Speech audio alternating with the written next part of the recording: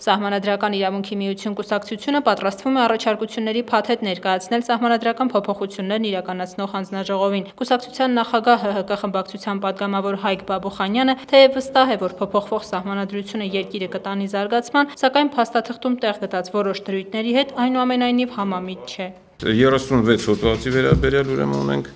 խիստ անհամաձայնություն այդ երեխաների, այսպես ասած, իրավունքների գերուրճացումը եւ այսպես ասած յուվենալ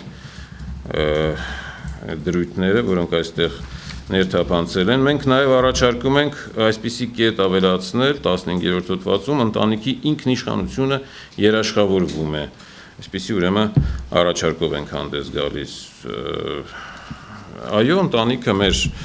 այսպես ասած, ավանդական հայկական ընտանիքը մեր հասարակության հիմքն է եւ մեր համանդրությունը այս նախագիծը բավականին փորձում է պաշտպանել, բայց ինչքան ավելի պաշտպանենք, այդքան ավելի ուրեմն ամուր կլինի եւ ընտանիքը, եւ հասարակությունը, եւ արդյունքում պետությունը։ Եվ դա իհարկե բոլորիս նպատակն է։